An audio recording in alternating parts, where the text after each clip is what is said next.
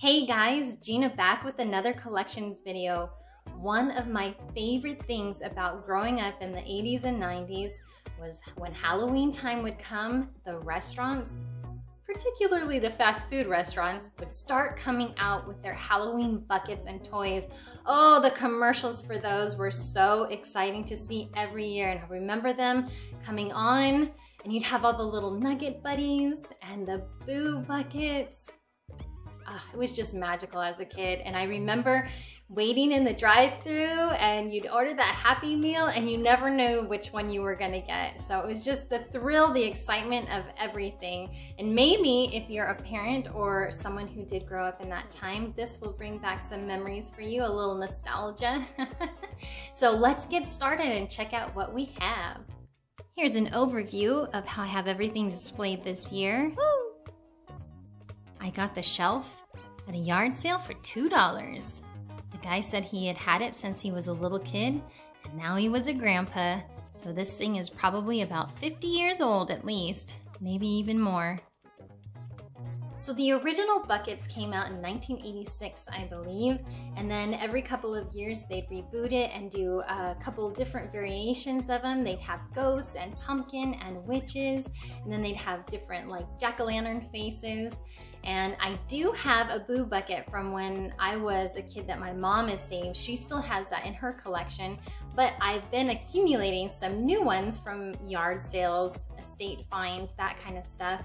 And the first one I'll show you is this fabulous witch right here. Isn't she gorgeous? She's got a beauty mark, beautiful eyelashes. if you spin her around, she's got a spider. This one came out in 1991. And what's cool about this pail is on the top, if you spin open her hat top, there is a cat cookie cutter right there. And then of course, you have a treat bucket now that you can, whoa, that you can take trick-or-treating. It's cool, it even locks on the side. So if you push it down, you can lock it. So now you've got your trick-or-treat pail. This thing is awesome. I love the color, it's super vibrant green. And now we have a funny looking jack-o'-lantern face. This guy came out in 1993, I believe. And he is missing his cookie cutter top, but he's adorable and cute and I had to take him. And the same with the witch. You put your treats in there, you can lock them in. This is a newer bucket. This one was created in 2010 but it still has that classic feel. This is a Mr. Potato Head. I believe it came with stickers that you could make the little potatoes, anything you wanted. It's got such great graphics on it. And check out this skull handle. How cool is that? And I found this somewhere, and it's a bat handle. He's just missing his bucket. So maybe someday I'll find a bucket without a handle and then we'll have a pair. You see the bat face? It changes. So there's that side. And then there's that side. Super cute. But those are my McDonald's buckets. I'll have to get that one from my mom here soon so I can add it to my collection. This next bucket is from Blockbuster, you guys. I completely forgot that it was from Blockbuster. 1998, and it's Rugrats themed. Oh, you guys, do you miss Blockbuster? I would go every Friday night and rent movies for the whole weekend and then just randomly watch them over and over and over again and then return them on Sunday before school the next day. Oh gosh, those were such good memories. Let's make it a blockbuster night. So this was a pail, it probably came with a soda and some popcorn and then a movie inside. And of course you could use it as your trick-or-treat pail. This is a tall bucket. This one is 2004 Jack in the Box. Flaming pumpkin skull. Check out that skeleton.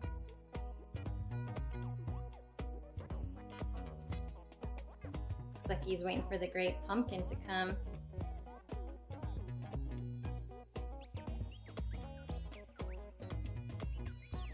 And no lid on this one either. Ah, there's no lids on any of these ones. These ones are missing, but I'm sure that would be an easy fix. I'm sure there's a lot of lids that you could put on and it would be a makeshift lid. This one's 2002 Jack in the Box. This is a tunnel of horror. They're at a carnival.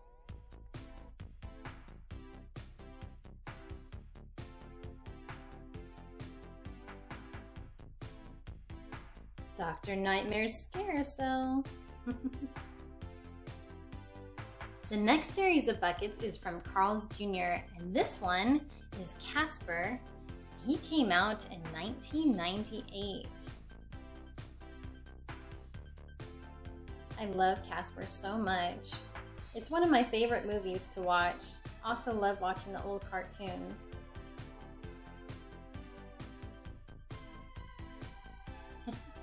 There's Stinky and Fatso and Stretch, right?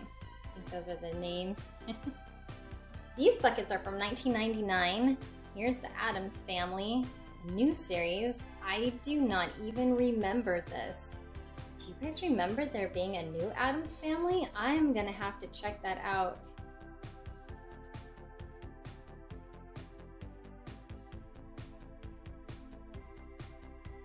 There's another Addams Family bucket, and this is probably 1999 as well.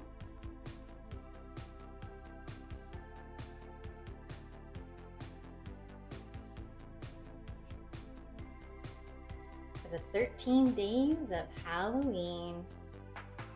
Yeah, I'm definitely gonna have to check this out because I don't even remember it. I would have been in high school at the time, so maybe that's why I don't know about it. I don't know. Check out this Carl's Jr. bucket. This is from 1992. It looks like a slime bucket.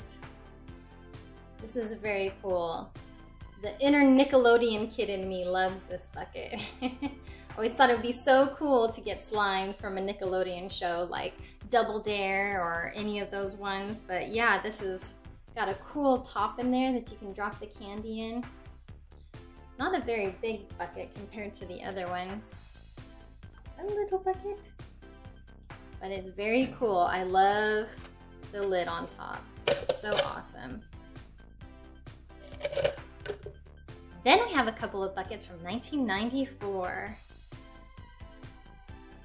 These are Carl's Jr. and these are their stars. They're famous stars dressed up for Halloween. Looks like they're having a Halloween party. It's got some safety stuff on there. Trick or treat with a buddy or in a group. Approach only well-lit houses. Wear a white or bright costume. And it's got an awesome lid graphic right there. Also decorated the handle. Look at how cute that is. Little pumpkin on that side. It says Happy Halloween. And their famous star. This is the other one from 1994. This looks like Ghost doing magic tricks. My favorite. Always use a flashlight. Only eat wrapped candy Walk carefully, look both ways before crossing the street. This also has an awesome lid graphic and the same cool handle with the pumpkin and star. Happy Halloween. Now we'll move on to 1995 Carl's Jr. I love these so much. They're so much fun. Now, I didn't really go to Carl's Jr. very much as a kid. This was from a lot I picked up from a lady and she had just saved all these buckets all these years for her kids. But these are fun. I would have loved this. Here's the graphic on top. this one is taking place at a haunted house. The handle is probably going to come off. Doesn't want to stay okay?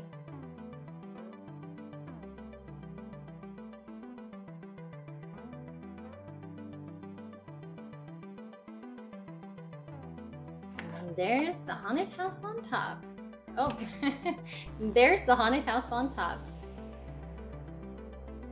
Did you guys have any of these buckets? Do you still own some of these buckets? What is your favorite bucket? I know that the McDonald's Boo buckets are always the like ones people are like, ah, oh, those were the ones I had when I was a kid. Some of these other ones maybe you recognize.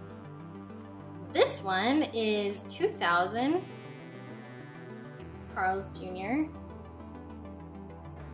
Let's see what we got going on here. Everybody's dressed up going trick-or-treating.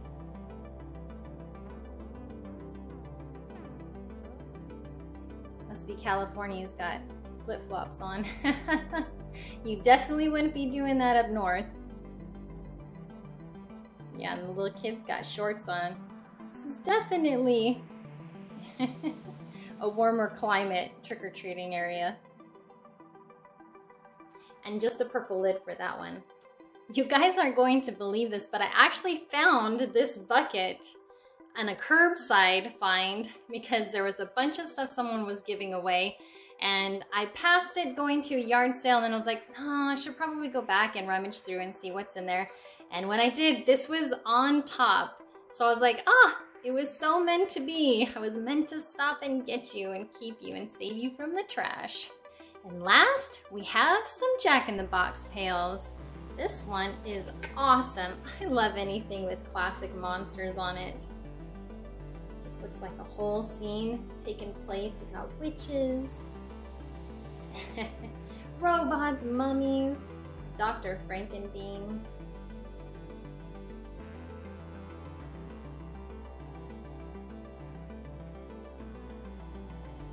That's awesome. This pail was made in 1998. I hope you guys enjoyed looking at those buckets from the past with me. I do have a collection of toys from the kids meals for Halloween season. So if you guys are interested in seeing that, that'll be uploaded soon. If it's not uploaded already, you guys can go check that out and we'll see you next time.